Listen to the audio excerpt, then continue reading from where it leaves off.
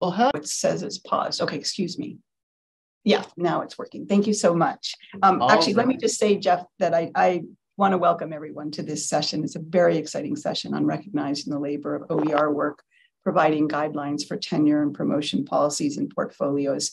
And now I will mute myself and let our presenters uh, introduce themselves. Thank you. All right. Uh, welcome to our panel session, and thank you so much, Rebecca, uh, for the introduction.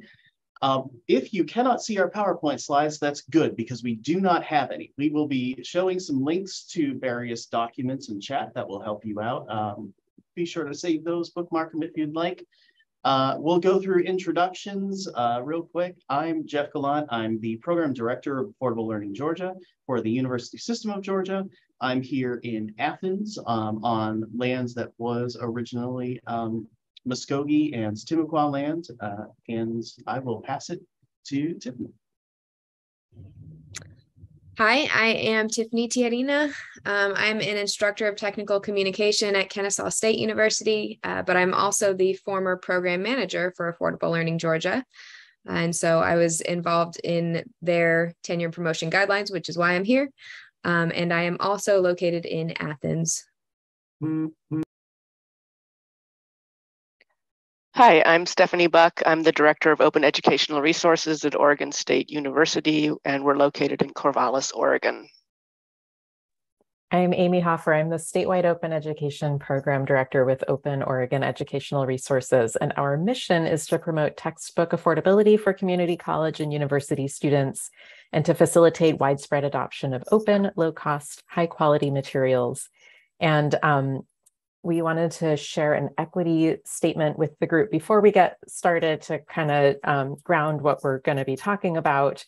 Um, so the presenters on this panel recognize that um, what we're trying to do here is not meaningful unless we account for past inequities. Systemic racism has caused generations of harm. This shapes the experience of Black, Indigenous, and other people of color that live and learn in our states today. As institutions of higher education, we must attend to the impact our choices have on students. Our team provides tools and resources to make diversity, equity, and inclusion primary considerations when faculty engage with open course materials.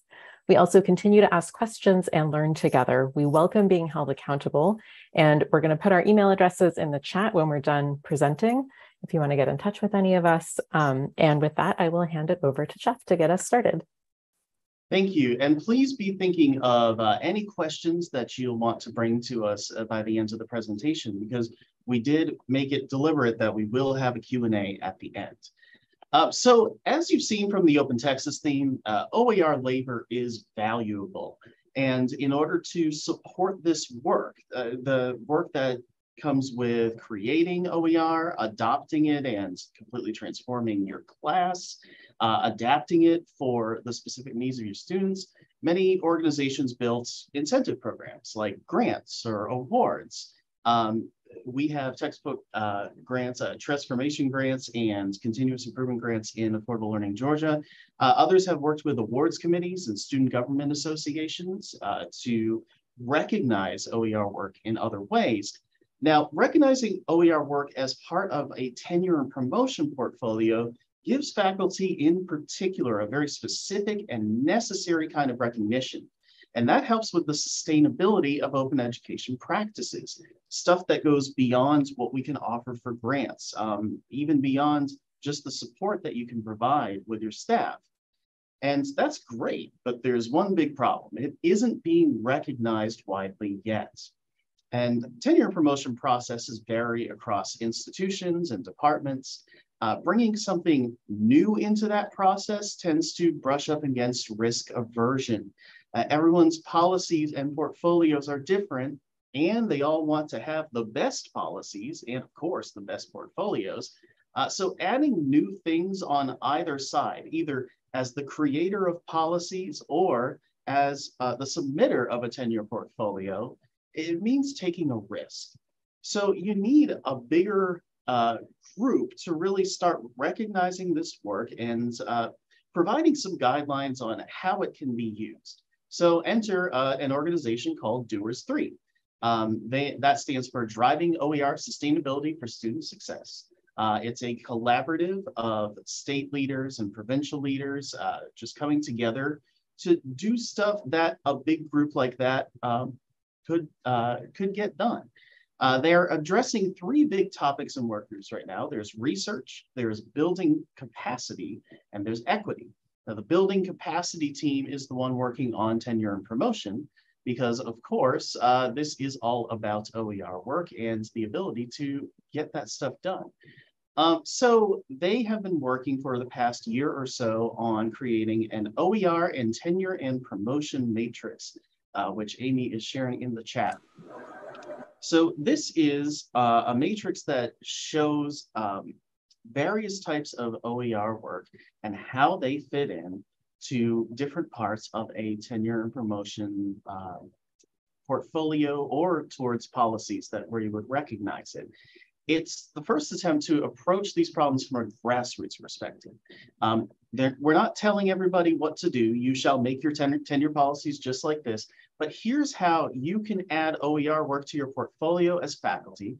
And here's how your department can consider adding that OER work to their policies. Um, so yeah, in the first column, it's the type of work. Uh, then there's the evidence for completing that in the second column so that here's what you would expect in a portfolio. Um, and the third one uh, and the fourth one and the fifth one are the three common buckets that you have uh, for tenure and promotion. You have research, teaching, and service. There's a check mark in one of those if it fits. Um, Doers 3 is now making sure that uh, institutions and systems are aware of this matrix. They're also writing about it. Um, we're going to share an article from Inside Higher Ed that came out of this matrix. Um, and also the New England Board of Higher Education has a practitioner perspectives journal and there's an article in there for it too. Um, they're also tracking the different adaptations of the matrix. Uh, the first big one they tracked is the first one that we're going to talk about today, but we're going to go through a series of adaptations, um, mostly from us, but the first one I'm going to mention isn't from us. It's from Iowa State, uh, especially um, the lead on the project, Abby Elder. Uh, this adaptation of the matrix really shows a different focus. It focuses on advocacy, on getting the word out about putting OER work in tenure and promotion across various stakeholders at an institution. Um, not only does it tell you who they are, it also tells you when you should contact them, um, usually like at a particular time or after a specific event. Um, and then also how to talk to them. What kind of talking points do you want to bring up? Um, the tenure matrix itself is just an appendix in the Iowa State one, uh, which is really cool uh, that they're so focused on getting the word out. The matrix is almost secondary to them. Um, and they're also sharing out handouts and presentations within that adaptation that can help with advocacy um, and with teaching advocates on how to, how to do that. Uh, so that's the first one. And now we're actually going to talk about what we do. I'm going to pass this over to Tiffani to talk about Affordable Learning Georgia. Thanks, Jeff. Um, so uh, like elsewhere, like everywhere, um, there was a need in the university system of Georgia for, I'm sorry, it never fails. The dog rings the bell when I start talking. so um, the hold on. I'm it's okay. The noise canceling is getting rid of most of it too.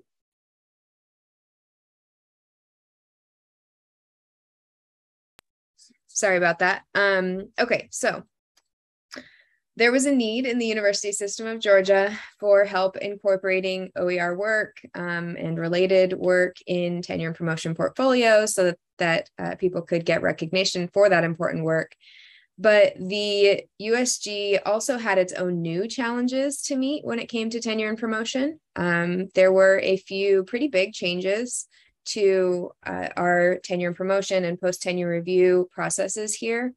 Um, and part of that was required mm-hmm. categories. Um, and so it was this, it was this whole big thing. It was all over the Chronicle and other academic news outlets. Um, people were talking about it everywhere probably still are. Um, the the post tenure review side of that wasn't super relevant to us at affordable learning georgia but the new category that was added for tenure and promotion student success was directly related and so we sort of took that addition as this great opportunity to stick our noses, stick our OER noses into tenure and promotion mm-hmm. um, by helping out our grantees and also other OER users in the USG find ways to fit their OER work um, into their portfolios.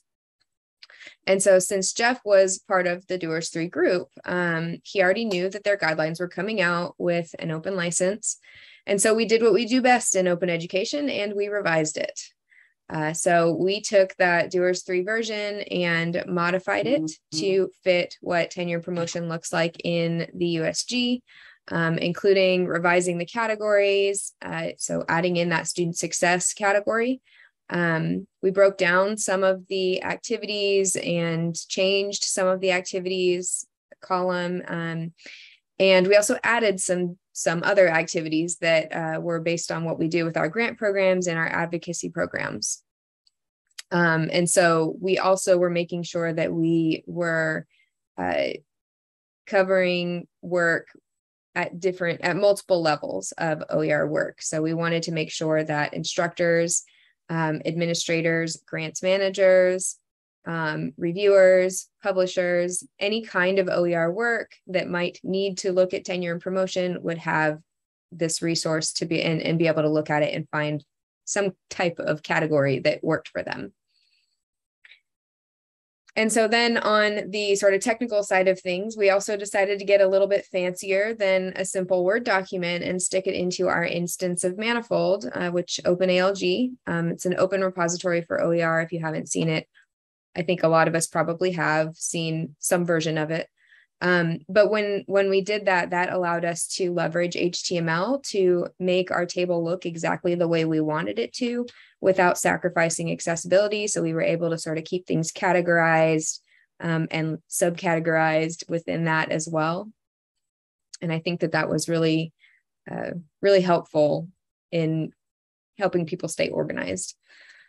Um, and then we implemented it we shared it far and wide. Um, and i think one of the most important things about the original matrix and our version of it is that it goes with how we function at alg uh, we don't make anyone do anything. We don't enforce we don't create policies. Um, but we're here to enable. We're here to support. Um, and so what jeff was talking about where the matrix was designed to guide institutions in incorporating oer um, it sort of went right along with the way that we function at alg as well. So it turned out to be a really great opportunity. And i am going to pass it to stefanie Thanks, Tiffani. Um, in Oregon, under the guidance of Open Oregon Educational Resources, uh, a group of representatives from Oregon's public institutions discussed the topic of OER representation in tenure and promotion.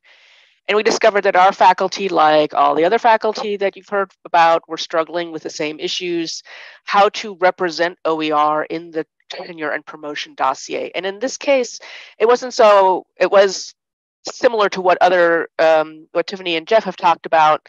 But it was also how do you actually describe your OER contributions in your dossier? So what what's the verbiage? What's the language that you can use that people will understand?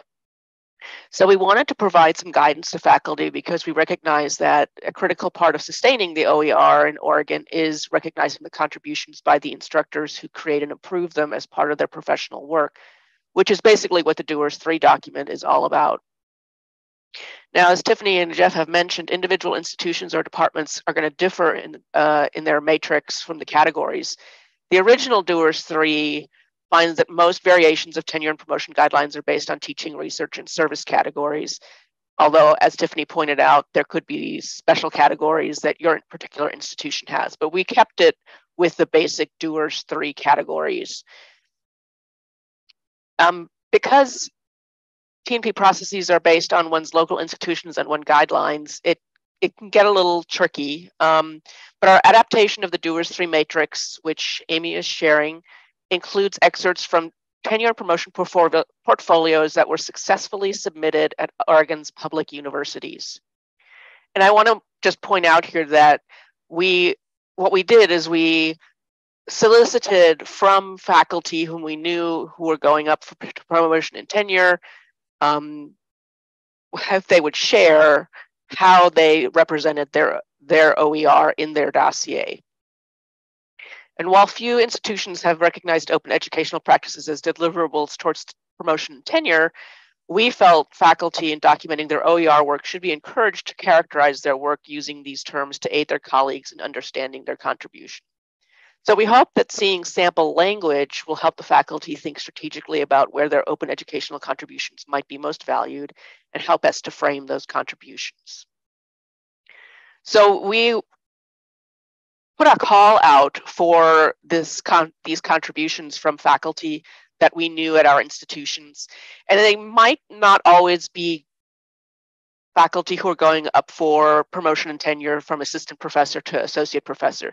Some were, we got samples from people who were promoted from, say, instructor to senior instructor, or from associate professor to full professor. So it wasn't actually finding people who were going through the process of tenure and promotion at this time was a little bit tricky, but we felt that the verbiage that we could gather from the other folks, even if it wasn't strictly tenure and promotion, um, would be helpful as a sample for people to look at.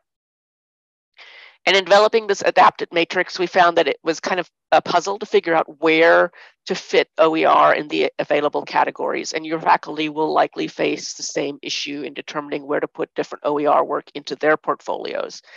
We hope that seeing more worked examples will enable faculty to make decisions that align with their own department and institution's best practices.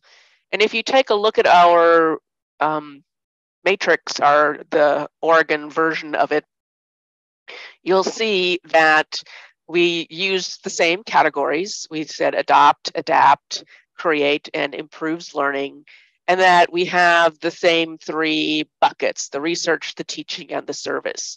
And for each of these individual contributions, using OER in the class or classroom, or using open access research article, or revising another OER's um, uh, revising another's OER to be more relevant to the student needs, et cetera. If we could find an Oregon example, we put it on the in the very right-hand column.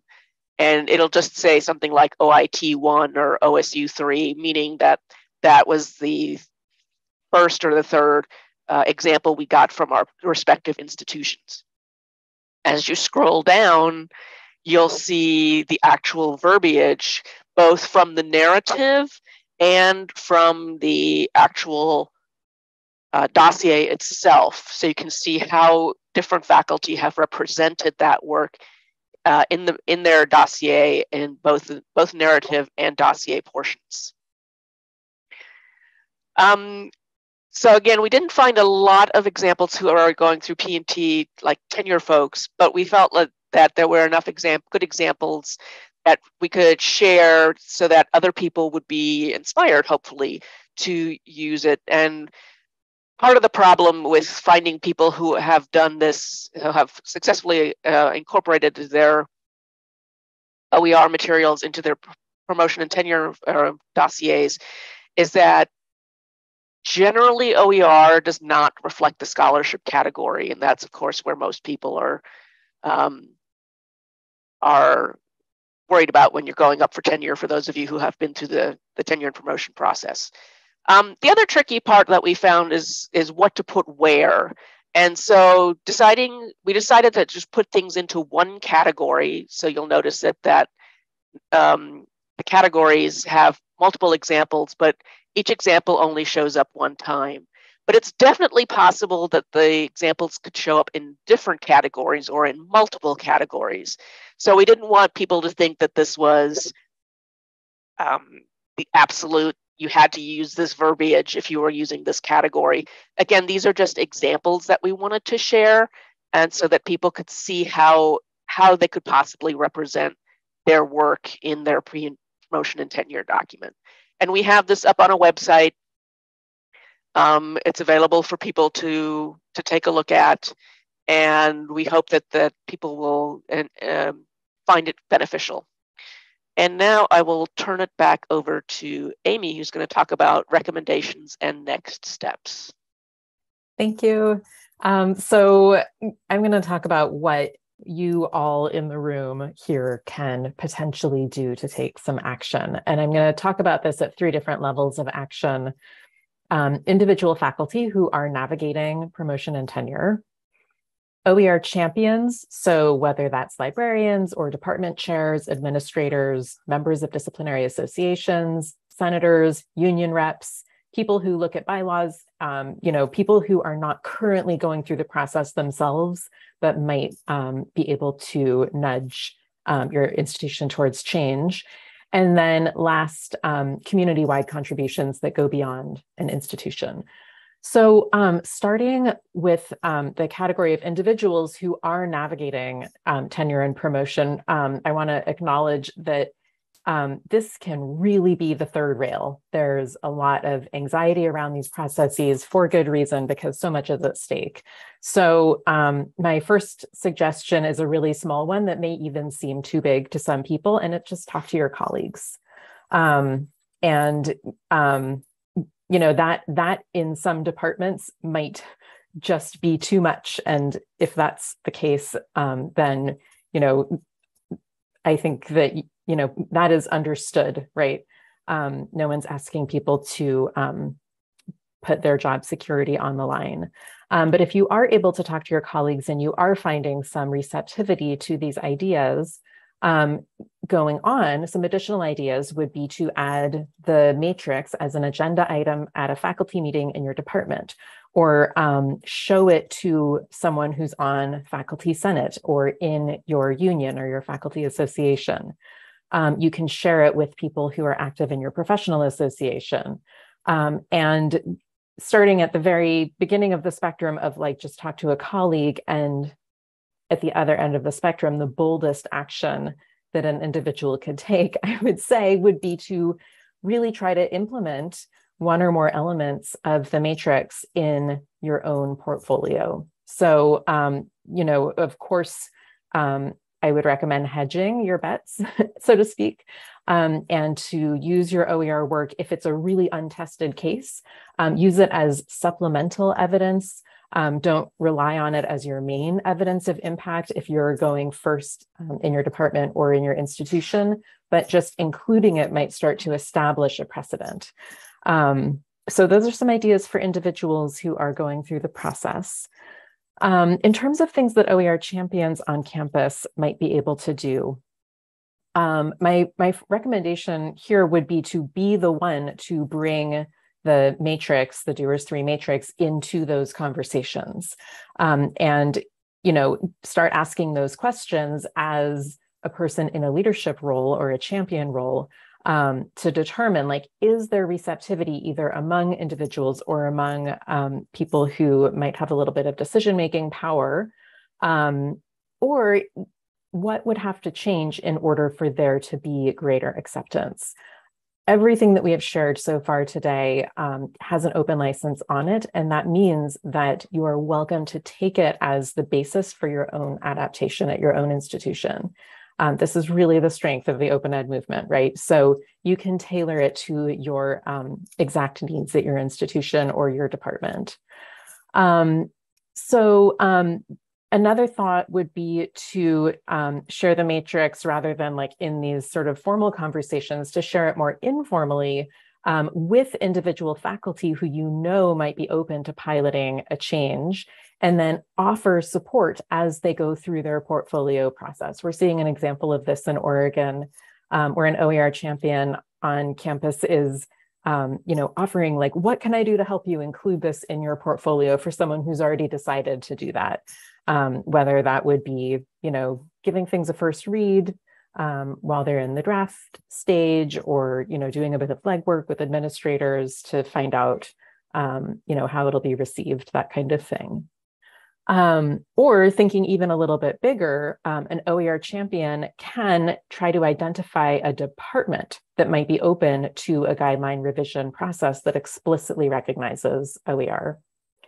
Um, so that would be sort of taking it um, one level more, right, to, to bring a conversation to an entire department. Um, there are also a few suggestions that came out of the Oregon adaptation process that Stefanie described, and I want to just walk you through what those um, suggestions were. So um, this is like in a paper when you say future research, it's like the things that we thought would be really cool, but we didn't do them ourselves, and we hope that somebody else will do them and share back. Um, so we thought it would be great to have um, guidance on fitting equity, diversity, and inclusion work into the matrix um, because it's often really entwined with open education work. Um, it's often very central to institutional mission statements and other kinds of institutional documentation.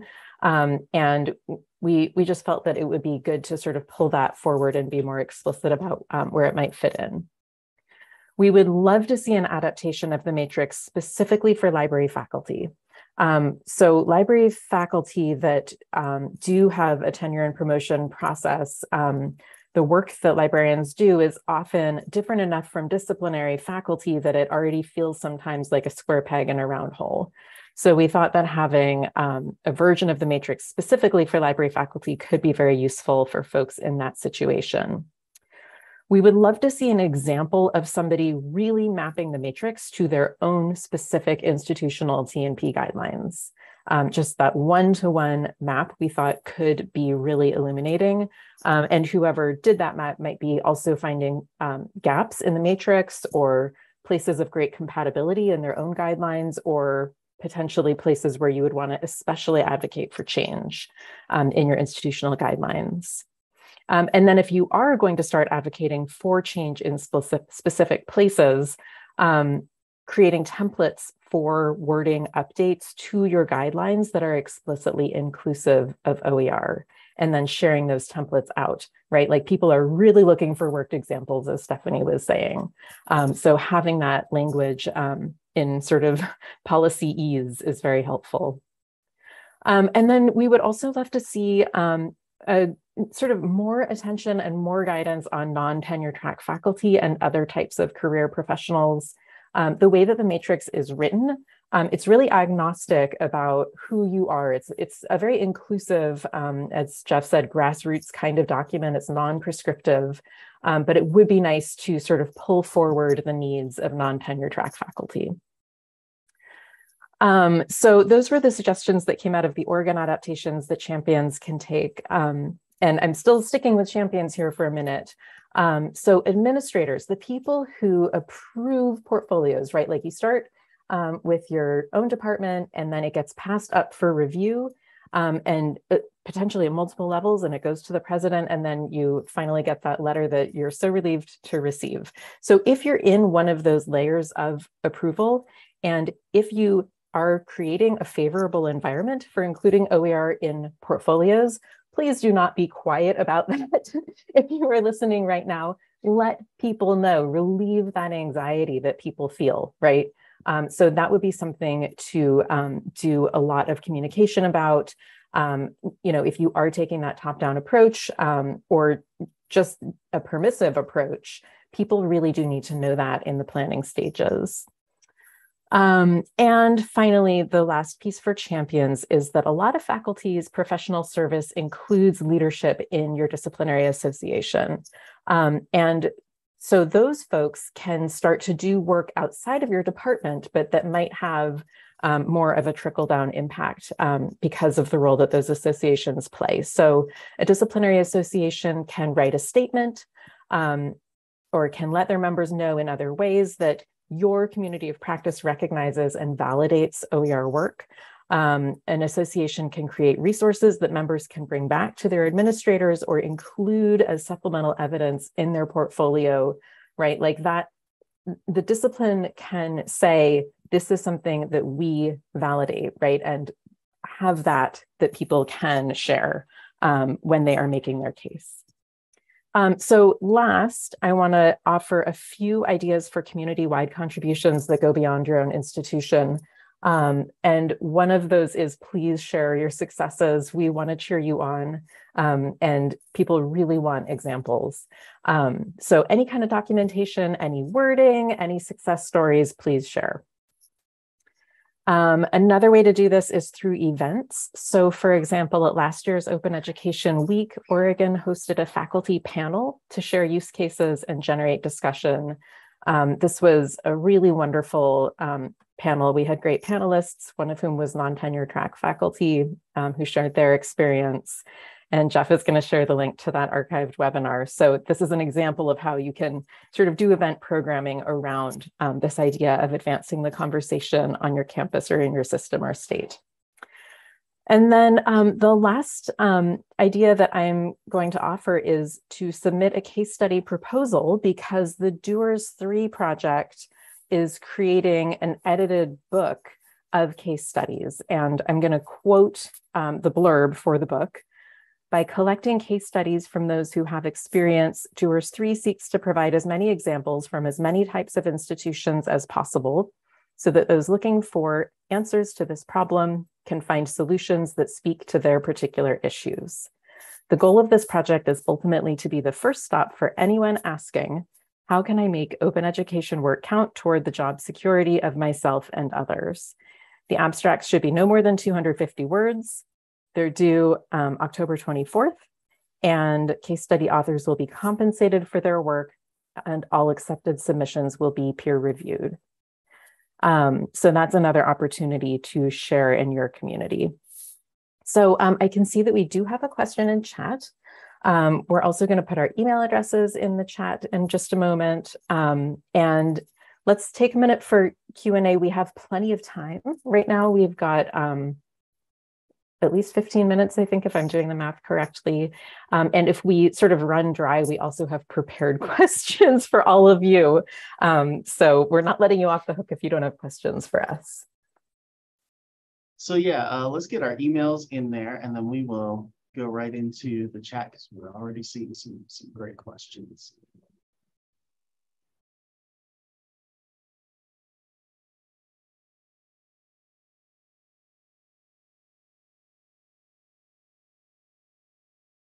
So uh, Tessie Torres uh, asked us, um, okay, so uh, she is the University of Texas at El Paso OER librarian.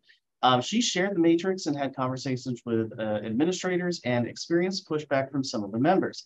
Have any speakers dealt with admin pushback? And if yes, how did you respond to it? So I asked if there were, if there was like some particular stuff that they were pushing back at. One concern was that OER was not legitimate. And another was that OER was an opportunity to publish material that veered from the university or department's mission. That's interesting. Have any of us experienced that kind of pushback?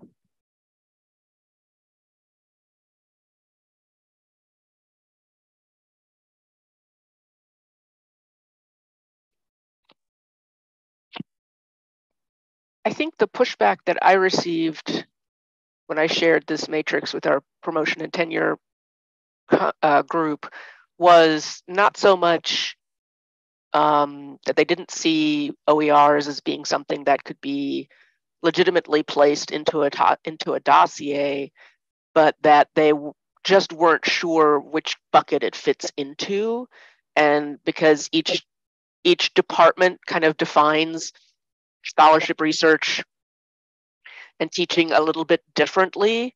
Um, there was some confusion about that, uh, like how how do we how do we acknowledge this? But I didn't get any pushback in terms of oh we don't think OERs are, are legit. Um, I have had that conversation with some folks, and um, you know the, that's a whole other uh, another discussion topic. But in terms of an OER, um, not so much that kind of pushback. Yeah, I think um, getting at the issues that Tessie said were raised about the legitimacy of OER, you know, on that individual faculty level, the Open Education Network's review workshop model, um, I have found to be very effective in saying, you know, I'm not advocating for the quality of any particular resource. You're the subject matter expert. Um, we're offering stipends to take a deep dive, review this and see if it meets your standards and meets your learning objectives and the needs of your students, right? Um, but it sounds like this administrator had legitimacy questions. And in that case, I think um, it would really be um, a matter of the faculty providing evidence, like the OER work that they did. Did it have a peer review process? Is there evidence of impact that aligns with what's actually in your guidelines of what you're supposed to be demonstrating, right? Um, and knowing that you're um, coming up against a potentially skeptical audience, like I was saying, like um, including it potentially, but um, having other evidence of impact for the same category so that it's not the only um, piece of that section of your portfolio.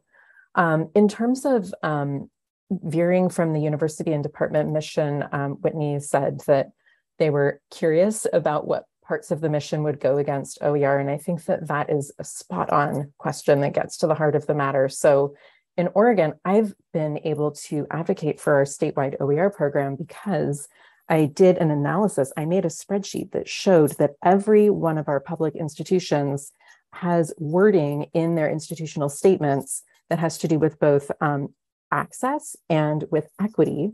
And I can show that OER work is helping advance both of those goals at the same time.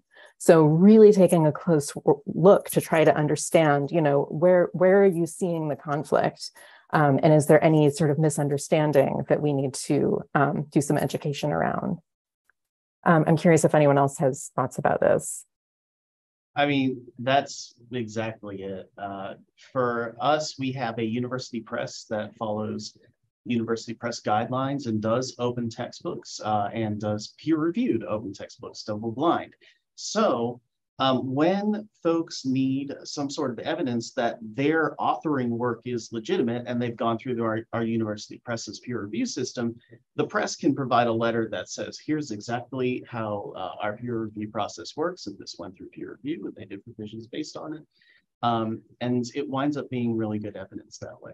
But that's not everything. Uh, some grantees are creating stuff on their own, and then in that case, it's a little bit different. And that what Amy said about post-production peer review in the Open Textbook Network is exactly right. If you go to the um, Open Textbook Library and see the reviews there, the name of the professor and the institution are linked right to the review, and the review is based on a rubric, and it goes down a whole bunch of different categories. So it really answers the, the questions um, of quality that you're that you're looking for.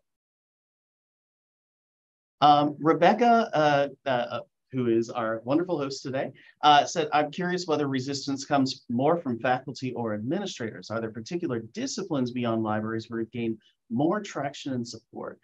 Um, I'll say over here that it's really tough to get a political science department to all do something department wide. Uh, they love to do things on their own and uh, be their own bosses, but also we have a public policy place uh, with some great leaders who saw OER as an equity boosting thing that was necessary. So at uh, Georgia State, the Andrew Young School of Public Policy is trying to get their courses to go OER. Uh, so you get these contrasts. At some places, like, no, no, we do our own thing over in poli sci. And then at other places, like, but this is the right thing to do. So we're going to work towards it. Um, we've got an IT department that created their own Z degrees through a series of uh, grants that they just beautifully applied for and did great projects on. Yeah, sometimes it, it really depends on the leaders in that department.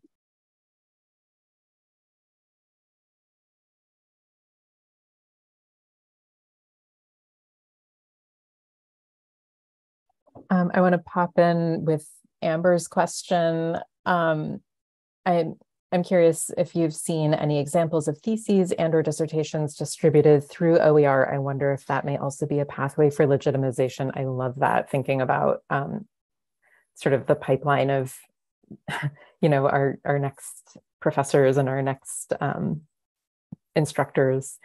Um, and I want to share a link to an example where um, capstone students um, in a master's program at the University of Oregon worked with our higher, higher education coordinating commission in Oregon and through them with me, with our program, um, to do an analysis of our no cost, low cost schedule designation implementation like very shortly after um, that bill was passed. And um, their findings led directly to another piece of policy in the next legislative session. Um, so that's one example that I can give. And um, Amber, I just think that's such a cool idea to pursue, and I hope you pursue it. So let me just share that link here.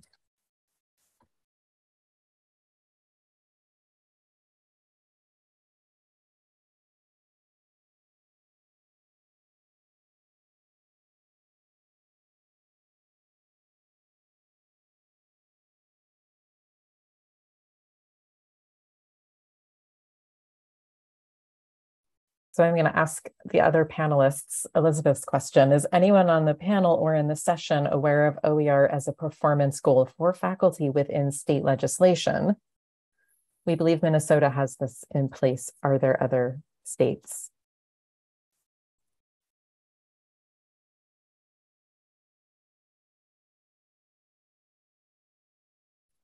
So, and this would never be a policy goal in Oregon because this of academic is not freedom. ours. Yeah. Uh, but this is definitely something that happened in Rhode Island.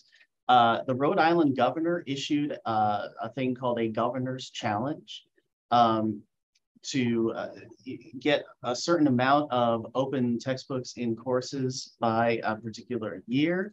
Uh, I don't think that that lasted too long, but it was a nice motivator uh, for organizations to take a look at OER uh, just by having the governor talk about it a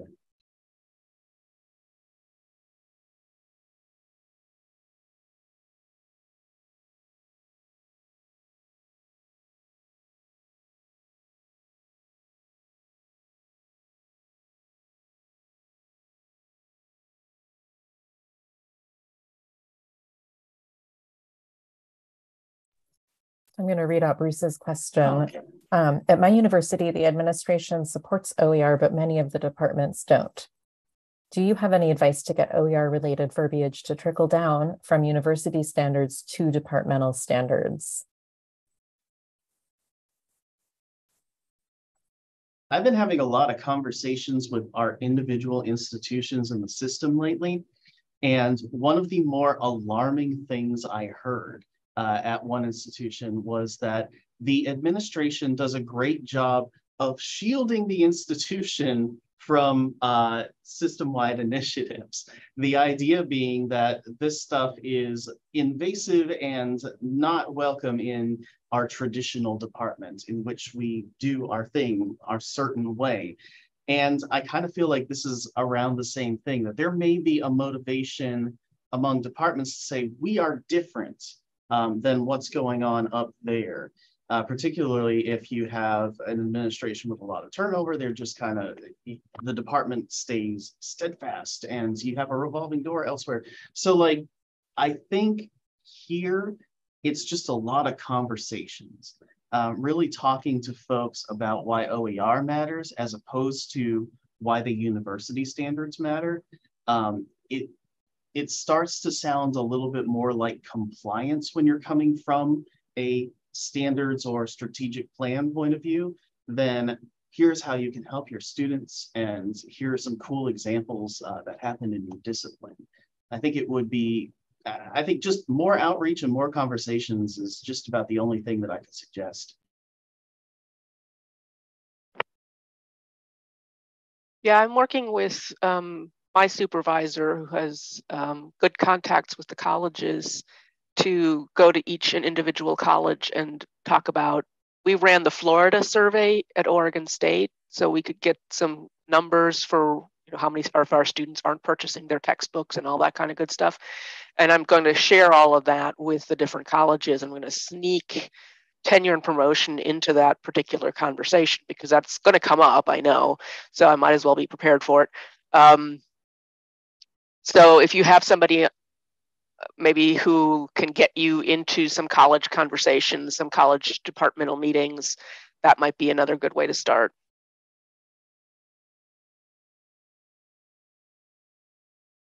I think also um, making, I guess, it, it's helpful when more than just the administration is positive about OER. I mean, there are other groups on campus that may be involved in making OER happen on the campus. And so uh, the example that's coming to mind is um, at my current and also former university, because I worked there before, we um, we had some issues with our grants office, um, just being very sort of negative about working with the ALG grants um, because it created a lot of extra work for them because they weren't technically like federal grants, um, which they're not. They're not federal grants. They're not the same kind. But um, that sort of negative attitude that came out of that office um, sometimes would it made things difficult for uh, teams that wanted to apply for grants um, and has made the process for applying for grants at that institution significantly more complicated now because they have a lot of approvals to go through. Um, and so I think I think that attitude has changed a little bit because um, there has been some turnover, but having that positivity and encouragement from all involved groups on campus is really important. That kind of wanna... goes. Oh, sorry, go ahead. No, no, I was going to do a different question, so please jump in. Oh, I was actually going to go to it too.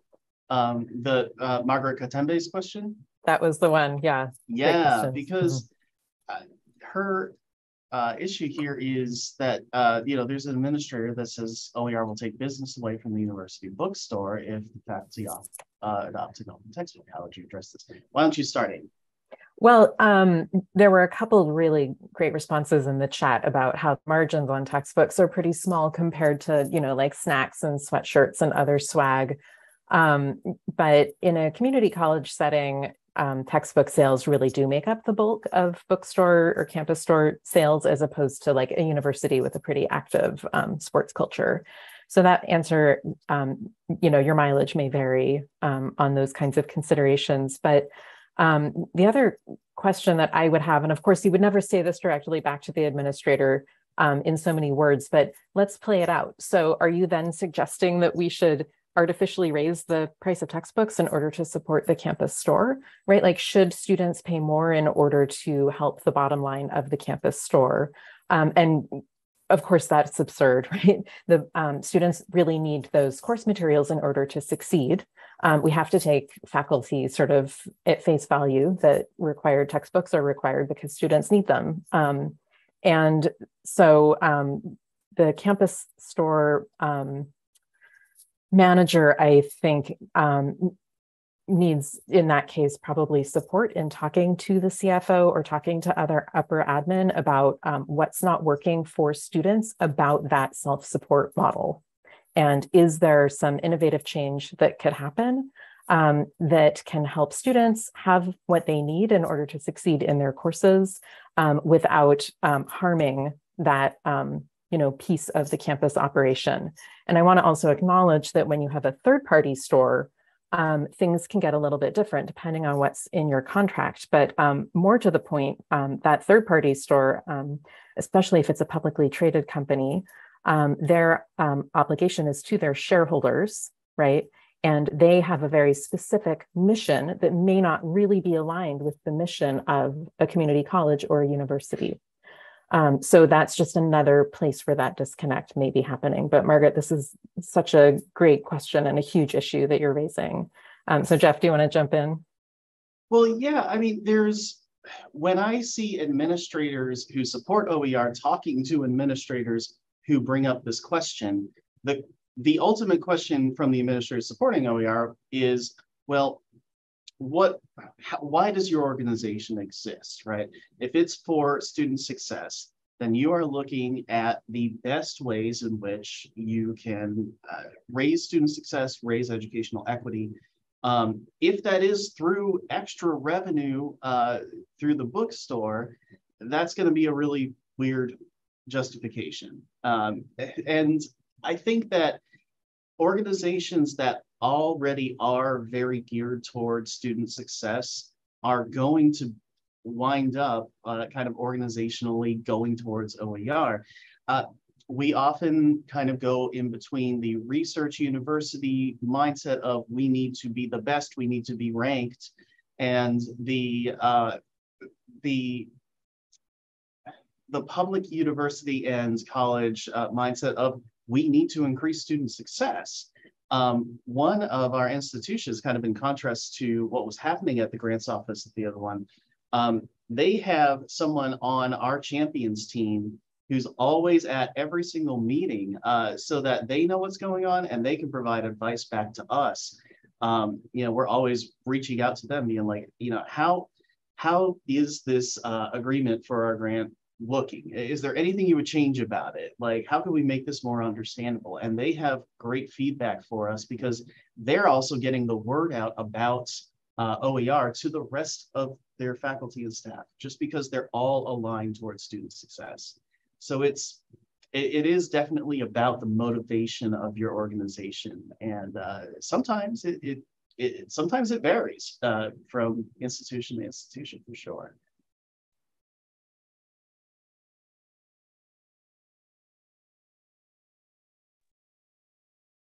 Um, we've got a question um, from Xanthine Perilin. Uh, will NCLC no cost and low cost be formalized and operationalized? Um, over in Georgia, we have a uh, uh, designation you can put on a course section. These use no cost materials and these use low cost materials. Um, we haven't based too much uh, of our like big data reading into it though, because the processes differ so much at our institutions as to who is putting these into uh, the course schedule uh, at one at one place, it might be directly the faculty are putting them in, and if you teach with OER, you are putting no cost. And at another place, it's one person in one office doing it for the whole institution, and you got to call them on the phone five times just to get the designator in there. Um, so we want to base more of our measurements on those designations, but it's not quite there yet. And I know that Amy has a ton to share on this um, over in Oregon. I was trying to be efficient by addressing James's question. So I missed where we were at. um, is this about the no cost and low cost schedule designations? Yes. Yeah. Um, and I wonder if that was a question about um, operationalization or implementation in Texas in particular that the person was asking about. Yeah, that could be. Um, but let me just grab the link to the um, course marking book that um, Michelle worked on, um, because that is um, such a great resource. One second while I grab that. Um, while you're doing that, since we're running low on time, do we want to go ahead and put our emails in the chat so that people have it before they disappear? Oh yeah, we kind of buried them way back there. yeah, we could do that. I'll uh, I'll do that.